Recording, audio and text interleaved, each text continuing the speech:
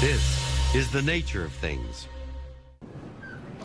Laser weapons are often the weapons of choice in sci-fi space wars, but the U.S. Air Force has years of experience with them too. This is ETSO 1. ETSO stands for Electric Discharge Coaxial Laser. ETSO 1, laser on in 5.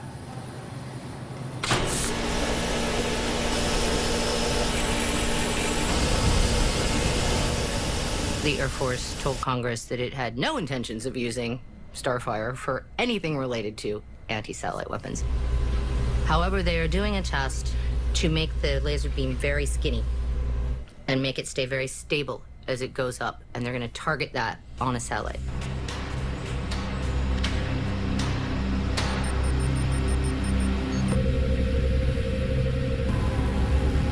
One of the things that I think people need to know is that most technology that's used in space can be used either for weapons purposes or it can be used for totally benign, good purposes. Um, small microsatellites that can go around a big satellite, take pictures. Good idea. That same little microsatellite that's going around the big satellite could be sent up to go around another person's satellite and run into it and kill it. Just over 50 years ago, the first satellite was spun into orbit. Space filled us with optimism and awe. But were we, in fact, just staking out a new war zone?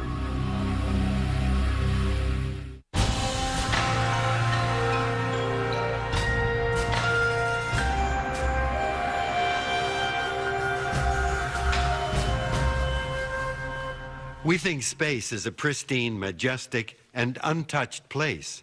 But is it? It now seems that even space is getting cluttered. There are all kinds of satellites and even space junk orbiting the Earth.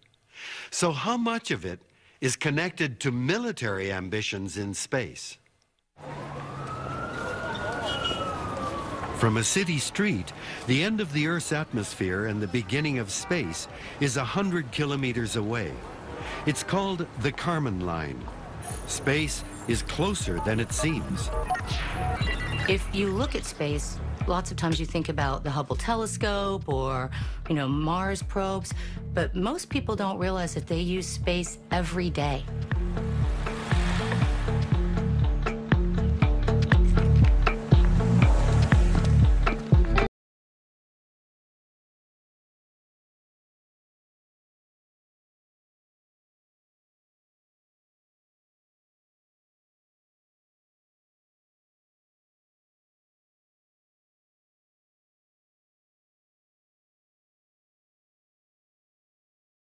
You use them each time you rely on a positioning system for air, for sea, for land traffic control, and even in your own car.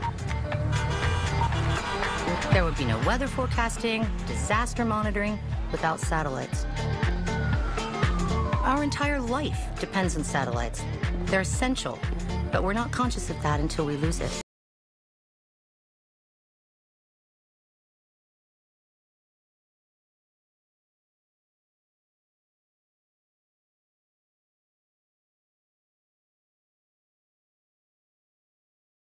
Technology, and 45 nations own their own orbiting satellites.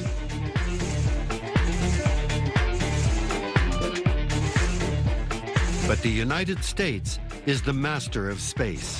It dominates as the owner and user of space systems, both civilian and military. Space is the backbone of our national security. There is no substitute, and there is no alternative to military dominance in space. And this conviction should drive our course for the next 50 years. The U.S. Air Force Academy trains the officers who will be the military space elite of tomorrow. Caesar Augustus came to power 27 years before Christ was born. People in the Roman Empire lived better under Caesar Augustus than they had in any empire on earth during any previous time. Roads improved. Pirates no longer threatened ships on the high seas. Life was so good during this time that the period acquired a name. It was and is still referred to as the Pax Romana, which means the Roman peace. Another period of peace has acquired a name. It is called the Pax Americana, or the American peace. The cadets understand that they have a mission. My name is Cadet First Class Colton Tuttle. I'm a cadet at the Air Force Academy. I graduate in 44 days, and I'm just hoping to do my part to make sure that uh, everyone here can enjoy their freedoms.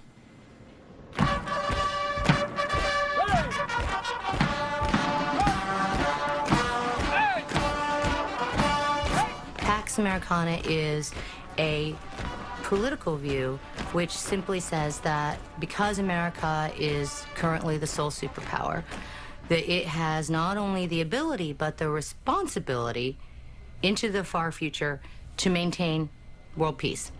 Eyes! Right!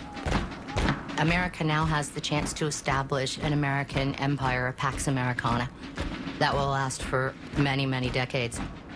And one of the ways to do this is to establish strong American control of space. China carried out its first anti-satellite weapons test on an old weather satellite about 500 miles up. According to U.S. government officials, after three misses, China succeeded in shooting down one of its own aging weather satellites. The test may be part of China's efforts to establish a military presence in space. Does this mean the spy satellites the United States depends on could be shot down? The American media made a big story out of China's 2007 anti-satellite test. It could cripple us. Is that what they're up to? Was it a sign of a growing rivalry in space weapons? Space has become the backbone of American military power. It may also be its Achilles heel. The United States, and particularly its intelligence services, worry about an attack on the United States that is not nuclear weapons, that is not chemicals, that is not uh, biological, but is technological. A surprise attack in space. This is uh, the ultimate nightmare.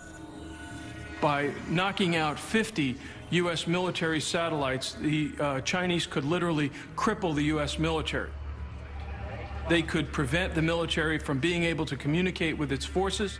They could blind the U.S. intelligence community, which uses electro-optic satellites uh, to determine uh, military force movements around the world. And they could also cripple the guidance systems that are used on precision-guided munitions that are satellite-guided. In many sense, it could be a kind of an electronic Pearl Harbor.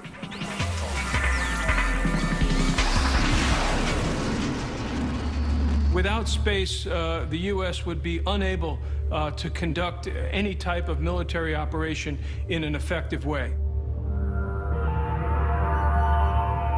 There's a tremendous premium on the United States being able to prevent other people from attacking our assets in space and to ensure that we can continue to exercise full use of them and, if necessary, also to be able to deny others use of similar assets uh, for their own purposes.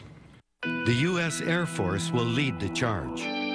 The world has changed. As more and more countries develop a presence in outer space, the possibility of a space battle is no longer science fiction. Our new world requires new solutions. Meet U.S. Air Force Space Command. This elite force is America's eye in the sky, keeping watch over our interests high above the ground.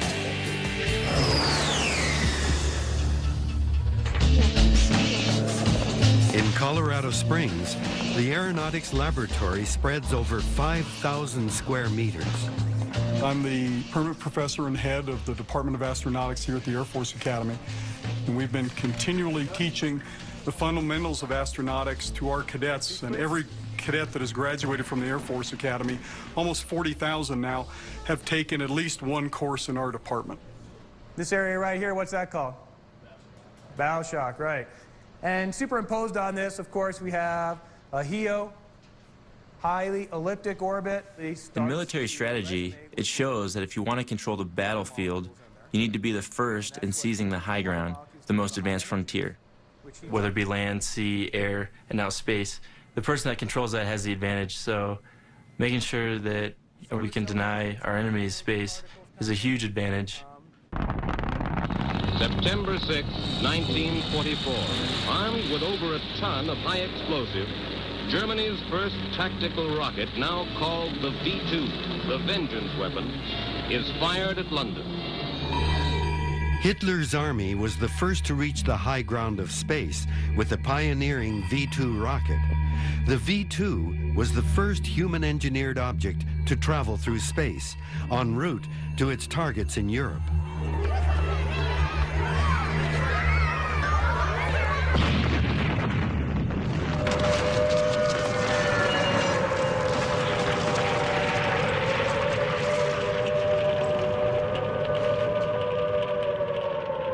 Cette fusée a été développée dans le cadre du Troisième Reich.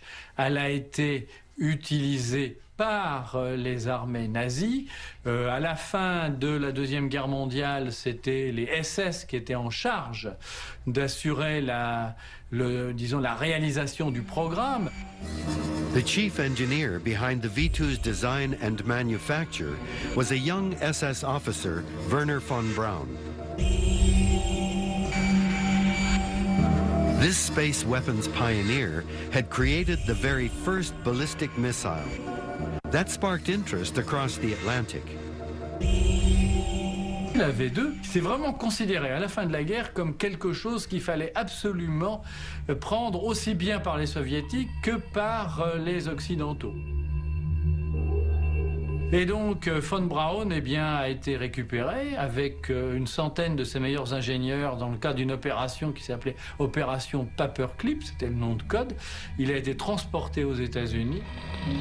The Pentagon assigned von Braun and his team of German scientists the task of designing an improved version of the V-2. Spearheading the Redstone, the first U.S. ballistic missile, propelled von Braun to the highest sphere of military and scientific influence. Wernher von Braun uh, ultimately became associate director of NASA, and his uh, former Nazi scientists functioned as collaborators with the U.S. military in uh, looking towards space as a new arena of war.